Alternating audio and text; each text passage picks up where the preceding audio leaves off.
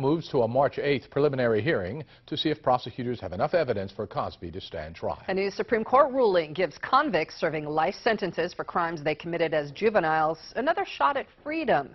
News 8's Jack Corpella reports on how that impacts cases in the Susquehanna Valley. This is like sending somebody to their room for life. Some Pennsylvanians are sentenced to life in prison before they can legally buy a pack of cigarettes. The Supreme Court has decided to give them a chance at a new sentence. It recognizes the fact that juvenile offenders can be rehabilitated.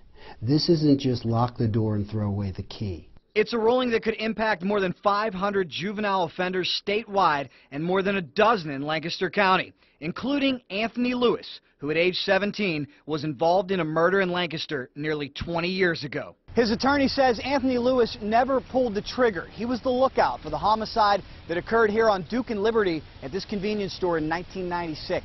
Lewis was mildly mentally retarded. He had a third grade reading level.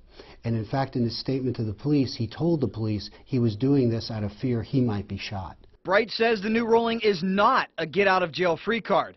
Convicts must prove they are worthy of a reduced sentence. You're not opening up the floodgates and allowing all these convicted murderers out of jail. That's not the intent here.